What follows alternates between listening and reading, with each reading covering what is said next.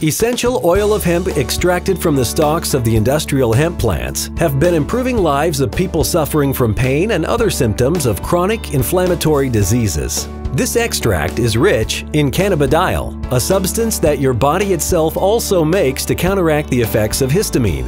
Brown's Botanicals manufactures two CBD-rich products. The Warrior Oil includes not just hemp seed oil, but also frankincense and black cumin, oils known to help reverse disease. The best way to use them is 5 to 10 drops at a time, held under the tongue for a minute or two. The CBD concentrate is imported from Europe where it is made from plants grown naturally, extracted by the supercritical carbon dioxide method that leaves no toxic residue. CBD is being evaluated to help with cancer, epilepsy, anxiety, ADD, ADHD, mood disorders, heart disease, sleep disorders, and more.